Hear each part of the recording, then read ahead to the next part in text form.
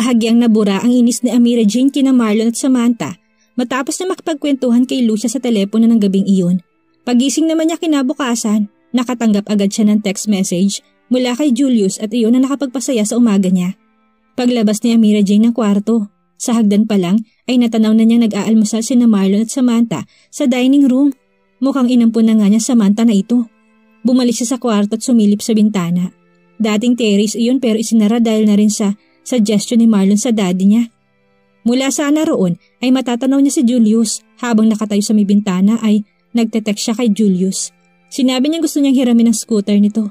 Pupunta lang siya sa kaibigang si Christina. Tinawagan na siya ni Julius at sinabing okay lang. Tuturuan pa nga raw siya nito at pwede rin siyang samahan. Nasira ang magandang mood ni Amira Jane na matanaw si na Marlon at Samantha na nakatayo malapit sa pinapagawang gazebo. Naka-pink na sando lang ang babae at miniskirt na kulay gatas. Kapito ko na talaga ang babaeng ito kay Marlon. Para nga naman libre na siyang mag-shopping sa Montejo Mall. Umingos siya. Para namang hindi ko alam na naging syota na siya ng anak ng governor. Na lahat na naging girlfriend eh, naka-live-in na. Kung tutuusin ay wala naman siyang pakialam kahit sino pang maging girlfriend ni Marlon. Pero imposibleng hindi tumadamay sa inis niya sa binata. Biglang gumana ang kapilyahan ni Amira Pumunta siya malapit sa kwarto ng daddy niya kung saan may aquarium. Dinukot niya isang malaking goldfish doon. Pasensya ka na ha, sabi niya sa isda. Kailangan ko lang ang tulong mo. Pagkatapos ay nagmamadali siyang bumalik sa bintana. Tinansya niya kung saan babagsak ang inuhulog na isda. Kailangan sa ulo ni Samantha yung bumagsak. Inilabas ni Amira na bahagya ang kamay sa bintana sa kabinitawan ng goldfish. Pagkatapos ay nagmamadali siyang bumalik sa kanyang kwarto. Nang marinig niya malakas na tili ni Samantha, ay napahagik-hik siya. Sa susunod na bumalik ka dito, maghahanda ako ng palaka o daga at yun ang ihuhulog ko sa ulo mo, sabi niya sa sarili na magkulong sa kwarto.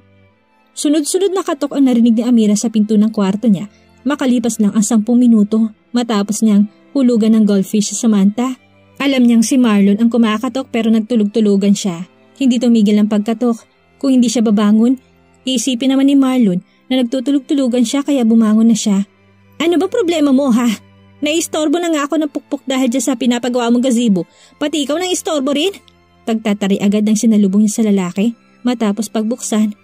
Paano ka may istorbo? E alam ko kanina kapagising. Kahit kalmado ay halata sa mukha nitong galit. Paano mo naman nalaman gising na ako? Come on, Namira Jane. Huwag na tayo maglokohan. Alam kong ikaw may gawa nung kay Samantha. Nang alin? Patay mali siyang tanong niya.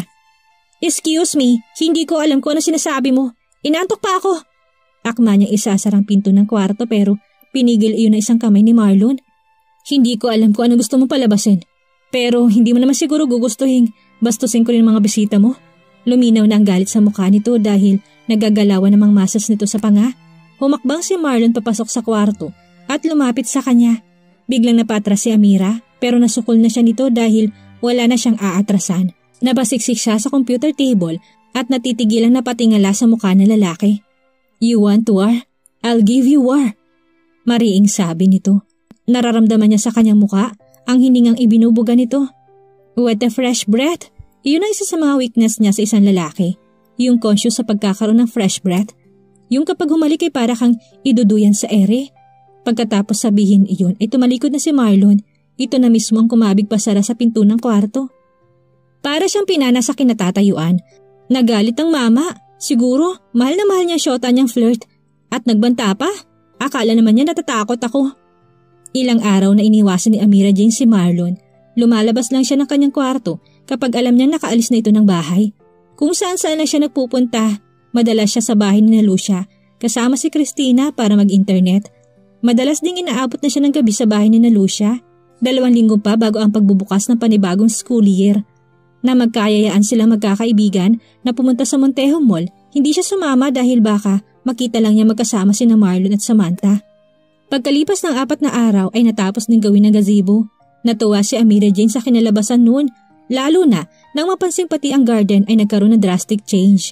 Kasama raw yun sa ipinaayos ni Marlon.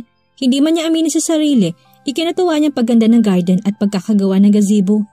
Humanga siya sa naisip na ideya ni Marlon para mapaganda ang bakuran Nagkaroon ng bagong bihis at kulay ang dating plain na garden.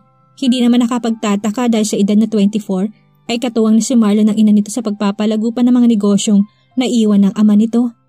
Si Marlon na ngayon ang main man ng Montejo ang gagawa ng major decision sa pagpapatakbo ng malaking shopping mall. Hindi matanggap ni Amira Jane ang magagandang katangian ni Marlon na unti-unti niya nadidiscover. Naalala niya pag-uusap noon ng daddy niya at ni Leslie ilang araw bago ang kanyang debut. Idea raw ni Marlon ang paglalagay ng sinihan at arcade sa Montejo Mall. Alam nito kung anong gusto ng mga tao matapos ang kursong marketing sa De La Salle sa Manila at ng master's degree nito. Tiwala raw si Leslie na mapapalago pa ni Marlon ang Montejo Mall. Pero, ito na ang una't huling gagalawin niya dito sa loob ng bakuran namin. Sabi niya sa sarili, matapos sipatin ang kabuuan ng gazebo. Nakaisip si Amira Jane na solusyon para hindi na sila muli magkabanggaan ni Marlon. Nang araw ding iyon ay nagpabili si Amira Jane ng pintura kay Ma'am Piping. Pagdating nito, ginawa na niya ang naisip gawin. Nagtaka pa ang mga katulong na sina Aling Ibiyang at Hermie. Gayon din si Mang Piping nang makita ang ginagawa niya. Ano yan Amira Jane? Tanong ni Aling Ibyang. Bakit mo pinipintura na hagdanan? Nilalagyan ko lang ng borderline ang gagalawan namin ni Marlon, sagot niya. Inabutan siya ni Marlon na naglalagay ng pintura sa iba't ibang bahagi ng kabahayan. What the hell are you doing? Kunot noon tanong nito. Nilalagyan ko ng borderline ang gagalawan mo sa bahay na to. Ano? Lalong lumalim ang pagkakakunot ng noon nito. Anong kalokohan yan? Hindi ito kalokohan. Mas mabuti na to para matagalan natin ang isa't isa dahil obviously we hate each other. Who told you that I hate you? Huwag na tayo magplastikan Marlon.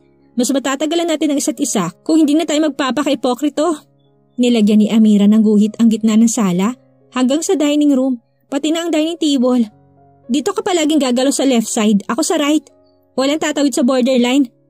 Pati sa dining table, doon ka sa left side kakain. Kaya kahit magkasabay pa tayo, hindi tayo magkakairingan. Kahit may bisita ka pa. Basta dyan mo lang pagagalawin, hindi ako makikialam. Nanatili nakatingin lang si Marlon sa kanya. Alam niyang naiinis ito sa ginagawa niya. Lumapit si Amira Jane sa refrigerator at binuksan iyon. Dito mo rin ilalagay sa left side ang mga pagkain mo. Pero mas okay sana kung magdala ka ng sarili mong ref. Lahat ng nasa right side ng ref. Hindi mo pwedeng kainin dahil sa akin yon. At hindi ko rin gagalawin ng mga pagkain ilalagay mo sa left side. Do you think this is ridiculous, Samira Jane? I don't think so. Ito lang ang dapat para maiwasan ang pag-aaway natin. Wala naman akong balak makipag-away sa'yo. Ikaw lang ito mainit ang dugo sa akin. Hypocrite, sabi ng isip niya. Total, hindi natin maiwasan na magkita. Iwasan na lang natin mag-usap. Mas mahirap ang silent war, Amira Jane.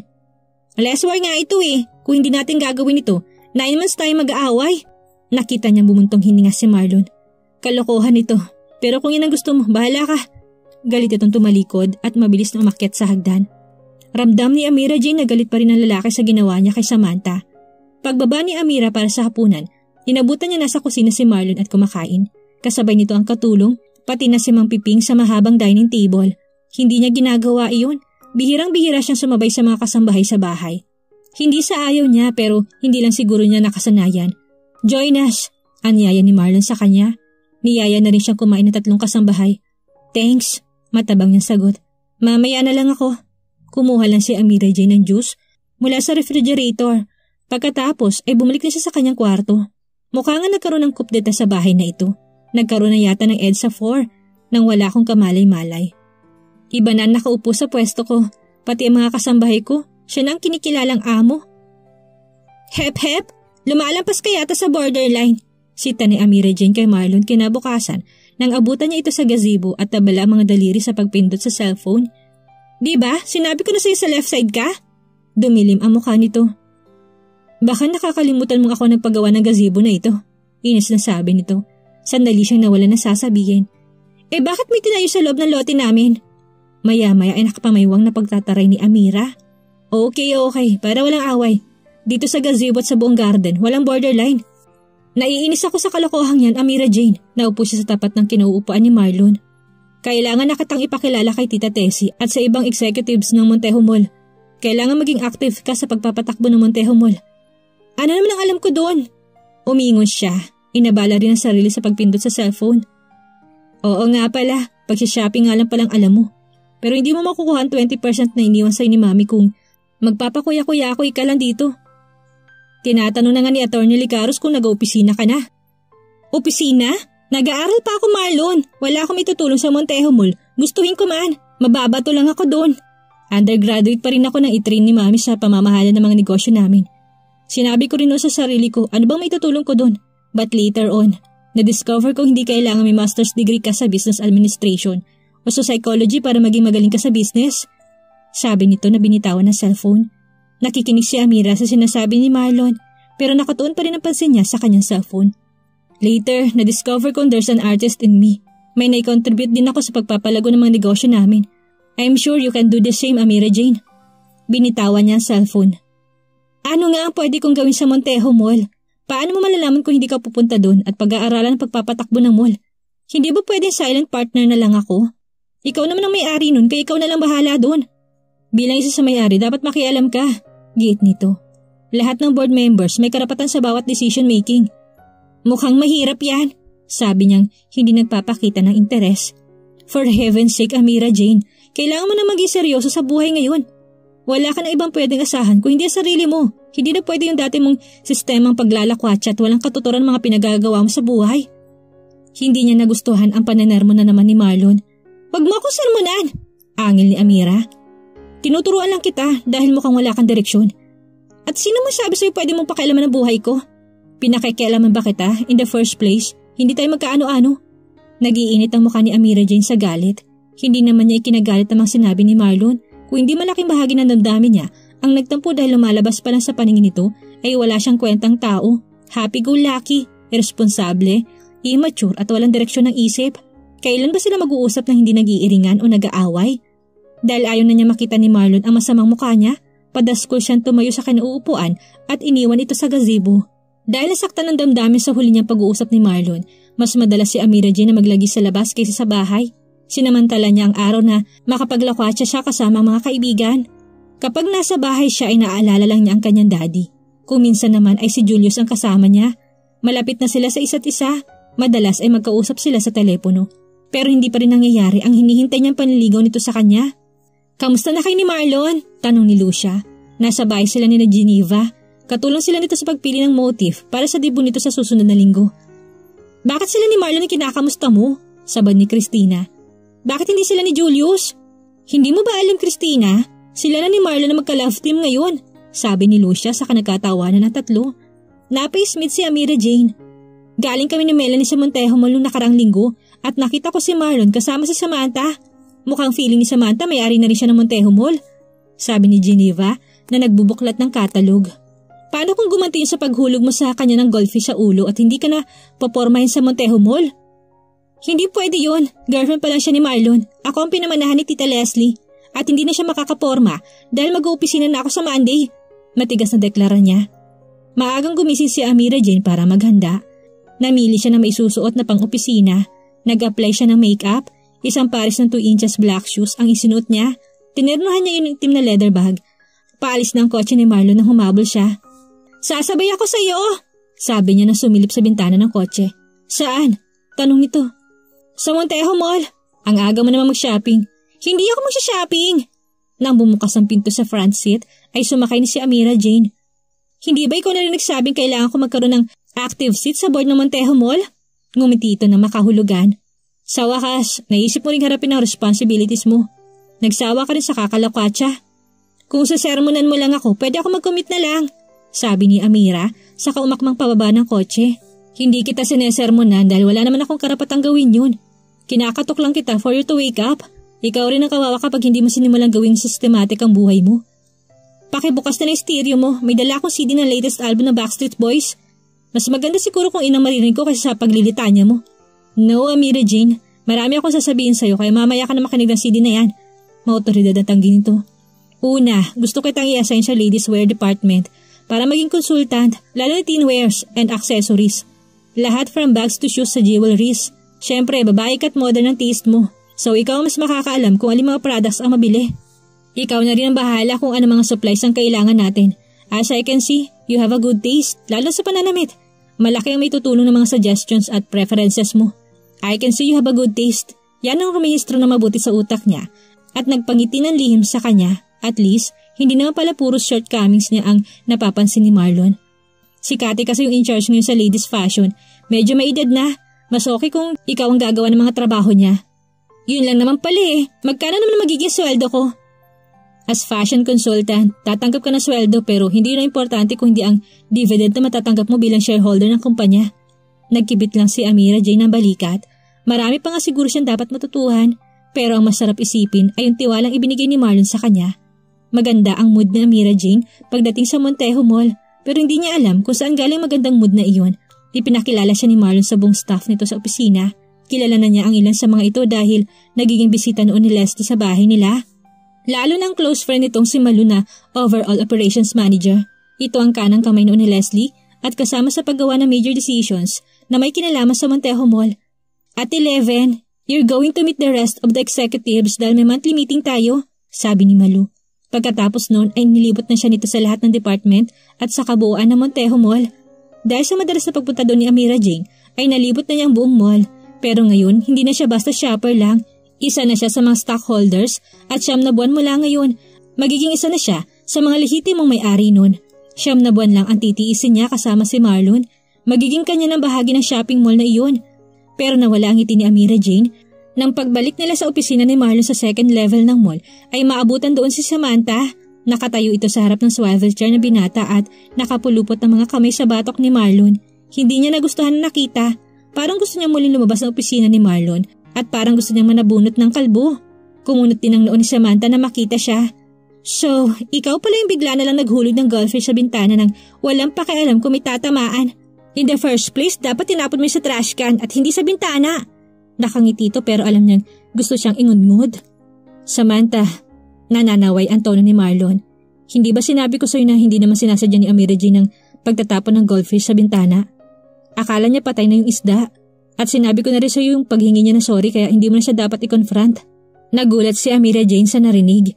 Pinalabas pala ni Marlon kay Samantha na hindi niya sinasadyang ihulog sa bintana ang goldfish. Sinabi rin itong humingi siya na paumanhin. Bakit yung ginawa ni Marlon? Inililigtas ba siya nito sa galit ni Samantha? Hindi ko naman siya kino-confront, babes. Paliwanag ni Samantha. Halatang takot na magalit dito si Marlon. You didn't mention na maganda pala si Amira Jane. Lihim siyang napaismid. Totoo ba yung sinabi ng babaeng to? Pero bakit kahit minsan, hindi nabanggit ni Marlon na maganda siya at may hawi kay Aramina? Mas sexy pa nga siya sa sexy star. Hindi ba nagagandahan si Marlon sa kanya? Hindi naman nakapagtataka dahil alam niyang hate din siya nito. Maya-maya ay sumungaw si Malu. Sinabi nito magsisimula na ang meeting. Nagtaka pa si Amira Jane nang malamang kasama si meeting si Samantha. Bakit to kasama si Samantha sa meeting? Executive ba siya? Pabulong na tanong ni Amira kay Malu. Gusto raw ni Tessie na i-recommend para maging bagong fashion consultant. Si Tessie ng tita ni Marlon isa sa mga stockholders nitong Montejo Mall. Fashion consultant? Eh yun na yung trabahong balak ibigay sa akin ni Marlon eh. Na kay Marlon naman ang final decision eh, sabi ni Malu habang papasok sila ng conference room. Nauna sa kanila si na Marlon at Samantha at halos yakapin na ng isang braso ni Marlon ang bruha. Akala mo aagawin ang boyfriend niya. Inis na naisalob niya habang nakatingin sa dalawa. Ipinakilala si Amira Jean ni Marlon sa mga executive at iyahin nito si Tessie 46 na ito't nakababatang kapatid ng daddy ni Marlon. Malit lang ang share ng hawak nito. Na kay Marlon pa rin ang 80% ng shares of stock.